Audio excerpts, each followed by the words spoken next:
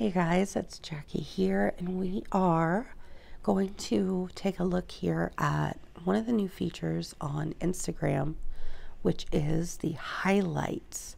This kind of goes along with being able to actually add to your Instagram stories.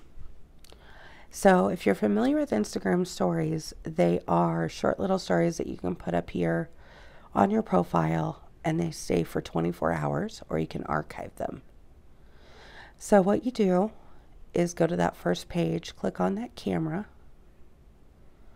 You can do a couple of different things, but if you go over here, down at the bottom to the lower left, you'll see the little camera roll and you see it pulls up my camera roll.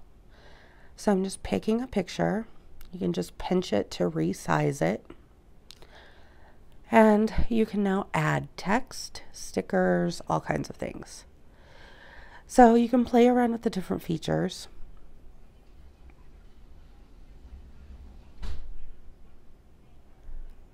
You can add in some hashtags as text, things like that. This is for the highlight reel of the Scentsy life for my Instagram. So the pictures that I put in here are going to all be related to Scentsy. And by archiving these, I'm able to keep them up for as long as I choose. So they're not going to disappear in 24 hours. These are actually going to be able to remain on my Instagram profile for as long as I want them to. So I can add some cool, fun little things here. You see there's lots of different options um, stickers that you can put on there. I mean, you can totally have a lot of fun playing with this, but truly the whole point of all of this is um, for using this for branding purposes is to be able to leave it on there and kind of give people a glimpse into more of your branding, right? Your business.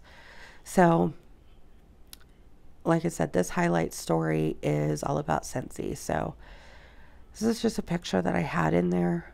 Of course, I'm going to go ahead and brand this because as people watch my story, I of course want them to know what my Scentsy website is. So you can add this in here. Over on the left hand side, you can move that slider up or down, make the text bigger, smaller.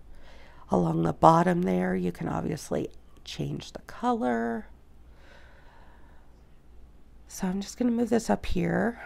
And then you can also change the font. You have a couple different options here. Modern, classic, neon. There's a couple different ones. So I'm just going to put it up there so it kind of scrolls across the top. There we go. Now I've added it to my story. Now on the bottom here, I'm going to select highlight. And now I'm going to add it to which one I want it to go to, which of course is the Scentsy one. So this is actually on my profile. So you see now how it just kind of plays in there.